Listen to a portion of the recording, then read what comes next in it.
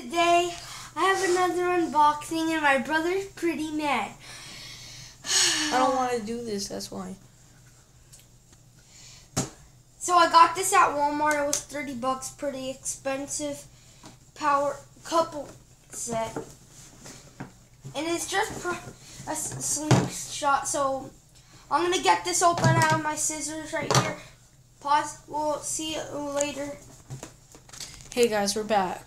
Look at Elastigirl. She's pretty much just a rubberly rubber thing. She's just like a wobbly wobbler. Oh, Yeah, wobbly. And look at this. Who does this? Who's wobbler, wobbler, wow. And he, all he can really do